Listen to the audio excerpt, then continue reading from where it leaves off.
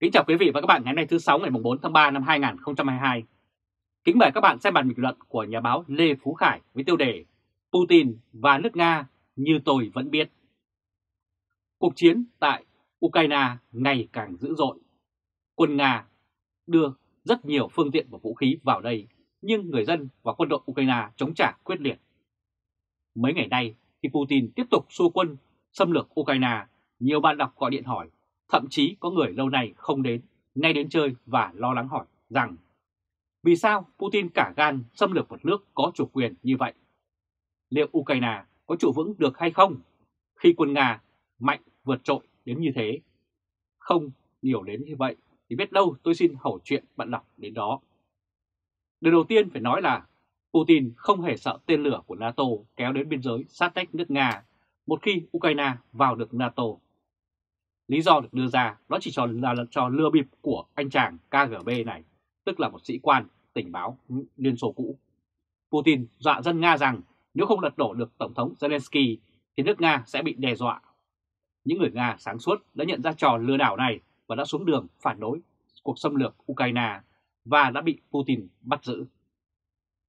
Thực chất, tên độc tài Putin sợ tự do, dân chủ và văn minh Putin sợ một khi Ukraine vào được Liên minh châu Âu như Ba Lan, Cộng hòa Séc, Romania, thì ánh sáng tự do, dân chủ, văn minh và cả phần phồn vinh sẽ tỏa sáng từ quốc gia rộng lớn có hơn 40 triệu dân này, làm thức tỉnh người dân nước Nga đang bị chính quyền độc tài Putin đàn áp, du ngủ bằng chủ nghĩa dân tộc cực đoan Đại Nga. Thực chất thì nước Nga đang ngày một bệ giảng khi anh chàng nghiện rượu Boris Enzin trao quyền cho Putin thì anh chàng AKGB, tức là sĩ quan mật vụ này của ngạn Liên Xô, đã mua võ judo quảng cáo trên truyền thông đại chúng để khoe sức mạnh cơ bắp của mình. Y còn nhảy lên lái máy bay để khoe cái lý lịch lính tráng của mình. Các nhà báo phương Tây lúc đó đã gọi Putin là anh hề chính trị. Và quả thực như vậy, với những trò đó, Putin đã bịt mắt được rất nhiều người và đàn áp truyền thông đối lập cũng như những đảng phái khác nhau. Lập tức sau đó Y liên kết với bọn tài phiệt mới vất lên do vơ vét được khi Liên Xô sụp đổ, chính quyền để bán tháo các cơ sở quốc doanh. Putin trở nên giàu có nhờ câu kết với bọn mafia đó. Putin lại được báo chí phương Tây gọi là tên con buôn chính trị. Anh hề chính trị và con buôn chính trị Putin không hề có tài kinh bang tế thế gì, nhưng vô cùng láo tôm láo cá đã khai thác triệt để kho vũ khí và công nghệ vũ khí từ thời Liên Xô để lại để xuất khẩu. Đồng thời với xuất khẩu vũ khí, Putin đã khai thác triệt để nguồn tài nguyên giàu có của đất nước mênh mông này để đem đi xuất khẩu khắp nơi. Nhân dân Nga sau bao năm đói khổ dưới thời Liên Xô nay bằng lòng với sự cai trị độc đoán, đàn áp đối lập, đàn áp báo chí, thay đổi cả hiến pháp để tiếp tục cầm quyền của Putin, để họ đổi lấy chút cơm ăn, áo mặc, bình yên. Dưới sự cai trị của Putin, nước Nga ngày một bệ giặc là như vậy. Cũng xin lấy hai ví dụ cụ thể như đầu năm 1991 đến Moscow vào căng tin ăn sáng đưa một đồng rút cho một quả thì được một quả trứng vịt luộc, hai cái xúc xích, một khúc bánh mì và một ly cà phê nóng to có đường. Người nhân viên của đài căng tin, căng tin đài phát thanh Liên Xô còn trả lại cho mấy đồng copec nhỏ xíu. Lúc đó một rúp trị giá hơn 1 USD. Đến nay 2022, một USD đổi được tới 76 rúp là thời giá trước khi Putin khởi động cuộc chiến xâm lược Ukraine, nay thì đã lên hơn 200 rúp mới được 1 đô la. Cũng có những người cháu, gái gọi là vợ là cô ruột làm ăn ở Nga đã hơn 30 năm nay từ lúc Liên Xô tàn rã, hiện có một công ty may mặc gần trăm công nhân thuê cả người Nga làm giám đốc điều hành, làm bảo vệ. Năm nào cũng về nước và đến thăm gia đình Cô cho biết tường tận về xã hội Nga và đời sống của dân Nga hiện nay. Nó cho biết rằng xã hội Nga hiện nay rất thối nát. Nạn tham nhũng, ăn hối lộ có ở mọi nơi, mọi chỗ. Chính quyền bị dân, gia luật chỉ có các công dân Nga mới được quyền ký các hợp đồng làm ăn. Đến công việc lái xe bus cũng chỉ có người Nga mới được làm. Một anh chàng Nga đã ký hợp đồng lái xe bus với một xí nghiệp rồi anh ta cho người không có quốc tịch Nga thuê lại và ngồi ở nhà uống rượu vodka. Cái xe Volga từ thời Liên Xô cũ đến giờ vẫn như thế. Chẳng cải tiến gì cả. Ai có tiền thì mua xe Nhật, xe Hàn Quốc. Nước Nga bây giờ chẳng sản xuất ra cái gì có giá trị, trừ rượu vodka có thương hiệu từ thời Liên Xô cũ. Kể hết câu chuyện này đến chuyện khác rồi kết luận, người Nga bây giờ lười lắm. Putin đã tha hóa nước Nga như thế nào? Một người lính trẻ Nga đi xâm lược, bắn giết những người vô tội ở Ukraine bây giờ, anh ta nhận lệnh từ một tên độc tài. Người lính Ukraine tự nguyện cầm súng thì đã chống lại quân Nga xâm lược, anh ta nhận lệnh từ Tổ quốc và nhân dân. Lại nhớ đến tướng De Castri bại trận ở Điện Biên Phủ năm xưa, khi về nước, De Castri đã phải điều trần trước Quốc hội Pháp về lý do bại trận ở Điện Biên Phủ. Ông De Castri chỉ nói một câu rồi đi xuống rằng cả Quốc hội Pháp đã chết lặng ra. Người ta có thể thắng một đạo quân nhưng không ai có thể đánh thắng một dân tộc. Tôi hy vọng lịch sử sẽ lặp lại một lần nữa khi dân tộc Ukraine quyết tâm hy sinh xương máu cho nền độc lập và tự do của mình. Quý vị và các bạn vừa theo dõi chương trình truyền hình trực tiếp của Lê Trung Khoa, Thời báo chấm ngày hôm nay thứ 6 ngày 4 tháng 3 năm 2022 với bản tin và bình luận của nhà báo Lê Phú Khải tựa, đề Putin và nước Nga như tôi đã biết.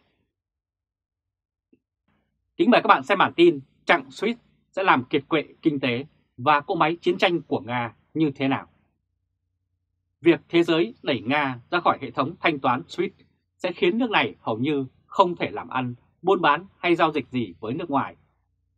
Một kinh tế gia từ Texas đã nói như vậy với Đại tướng Hoa Kỳ và do đó sẽ không còn nguồn lực để kéo dài cuộc chiến ở Ukraine trong lúc đời sống người dân sẽ hết sức khó khăn. Tòa Bạch Ốc vào hôm 26 tháng 2 tuyên bố Mỹ và các đồng minh đã đồng ý loại một số ngân hàng Nga lọc ra khỏi SWIFT, một hệ thống nhắn tin tài chính toàn cầu. Đây là hình ảnh trụ sở Ngân hàng Trung ương Nga ở Moscow. Nước Nga đang đối diện trước sức ép kinh tế chưa từng thấy từ phương Tây. Tuyên bố chung của các nhà lãnh đạo Ủy ban châu Âu, Pháp, Đức, Ý, Anh, Canada nói rằng việc Nga bị loại ra khỏi SWIFT đảm bảo các ngân hàng Nga bị ngắt ra khỏi hệ thống tài chính quốc tế và gây tổn hại cho khả năng hoạt động trên toàn cầu của họ. Việc chiếc chìa khóa để chuyển tiền, SWIFT, là viết tắt của ngôn ngữ tiếng Anh, tức là Hiệp hội Viễn thông Tài chính Liên ngân hàng toàn cầu. Đây hệ thống nhắn tin toàn cầu kết nối hàng ngàn định chế tài chính khắp nơi trong thế giới, và Việt Nam cũng vậy. SWIFT được thành lập vào năm 1973 và đặt trụ sở tại Bỉ. Nó là ngân hàng quốc gia Bỉ giám sát bên cạnh Cục Dự trữ Liên bang Hoa Kỳ, Ngân hàng Trung ương châu Âu và các định chế tài chính khác. Nó kết nối hơn 11.000 tổ chức tài chính tại hơn 200 quốc gia và vùng lãnh thổ trên toàn thế giới để thông báo cho các ngân hàng về các giao dịch. Alexandra, giám đốc điều hành của Trung tâm Nghiên cứu David về Nga và Á Âu ở Đại học Harvard nói với trang NPR rằng nó không di chuyển dòng tiền nhưng nó di chuyển thông tin về tiền. Swift cho biết họ ghi nhận trung bình có 42 triệu tin nhắn mỗi ngày vào năm 2021, bao gồm trao đổi tiền tệ, giao dịch và những thứ khác. Đây là hình ảnh người biểu tình ở thủ đô Berlin, Đức kêu gọi loại bỏ Nga ra khỏi hệ thống SWIFT. Hệ thống SWIFT không phải là ngân hàng, không có tiền và cũng không thực hiện thao tác chuyển tiền. Giáo sư, tiến sĩ Khương Hữu Lộc, người giảng dạy chương trình Thạc sĩ Quản trị Kinh doanh tại trường cao học Kale, với quản lý đã nói như vậy với Đài tiếng nói Hoa Kỳ từ Texas. Ông giải thích mỗi ngân hàng, mỗi chi nhánh, mỗi địa chỉ tham gia vào SWIFT được cấp một mã riêng biệt để định danh. Khi cá nhân hay tổ chức thực hiện thao tác chuyển tiền thì phải gửi thông tin bằng cách cung cấp mã SWIFT thì tiền mới đến được tay người nhận. Ông ví von, dòng tiền luân chuyển giữa các ngân hàng, giữa các nước trên thế giới như là dòng sông chảy qua các nước và hành động chặn suýt giống như đắp đập bao quanh một nước khiến cho cái dòng nước không thể lưu thông và ra vào quốc gia đó được nữa. Và giờ đây chính là Nga. Hậu quả của cuộc xâm lược do ông Putin khởi động tấn công vào Ukraine.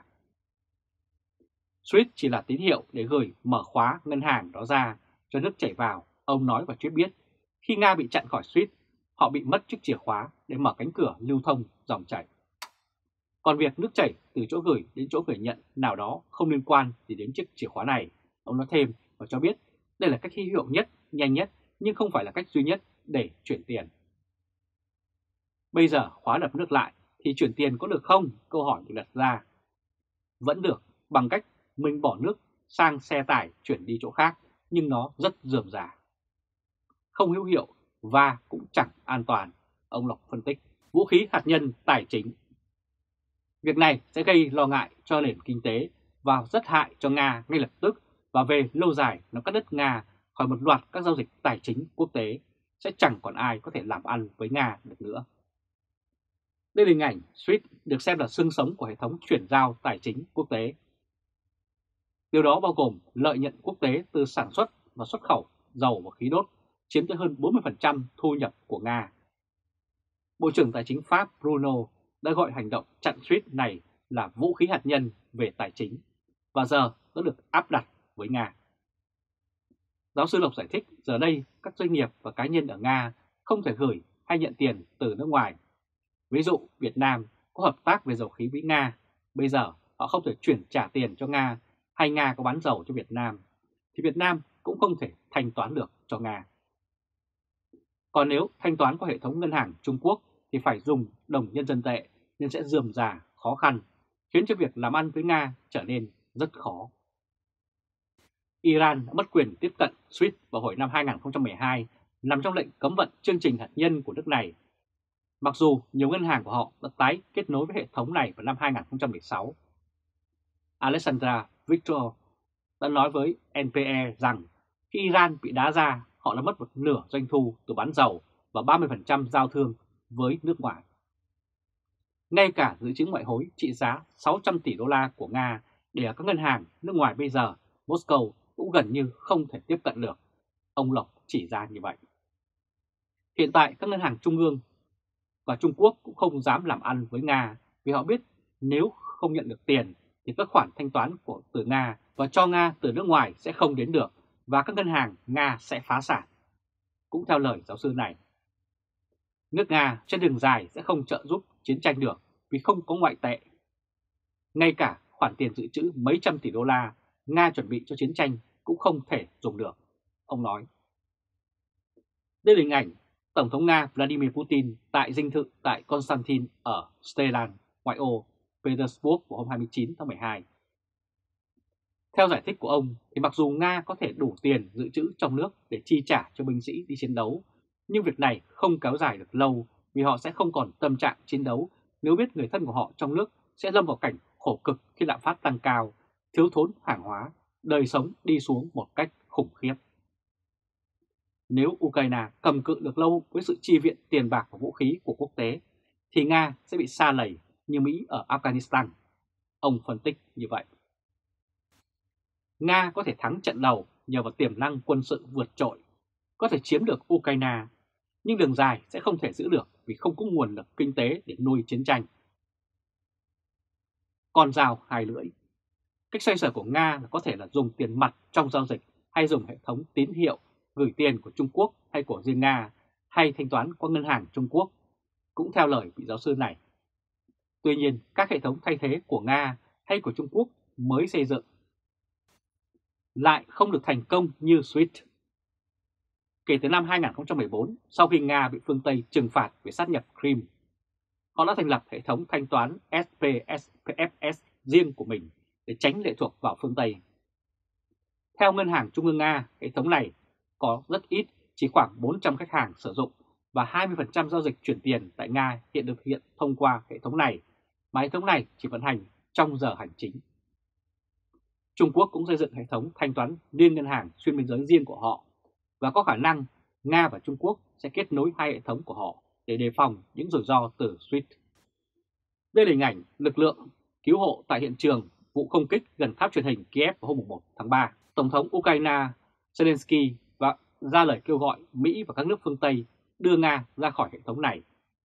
Một số quốc gia đã từ chối trước đó lo ngại cho nền kinh tế chung, nhưng khi cuộc xâm lược của Nga leo thang, nhiều nước Liên minh châu Âu đã nhất trí. Đức chính là một trong những nước chần chừ và chỉ đồng thuận với biện pháp này vào giờ chót. Theo lời ông Lộc thì những nước lâu nay vẫn làm ăn, đầu tư, buôn bán với Nga, thì khi Nga bị chặn khỏi tweet, họ sẽ bị thiệt hại vì sẽ không nhận được tiền thanh toán từ Nga nữa. Chỉ có Mỹ không bị ảnh hưởng nhiều do Nga chủ yếu xuất khẩu dầu hỏa và vũ khí, ông cho biết. Khối châu Âu bị ảnh hưởng nhiều nhất nhưng vẫn can đảm nuốt liều thuốc đắng này, ông Lộc ca ngợi. Các ngân hàng châu Âu hiện là một trong những chủ nợ lớn nhất của Nga, chiếm phần lớn trong số 121 tỷ USD mà Nga nợ các ngân hàng nước ngoài. Riêng Việt Nam, ông nói do xuất nhập khẩu của nước này với Nga chiếm tỷ trọng rất nhỏ trong cán cân thương mại, nên cũng không bị thiệt hại nhiều.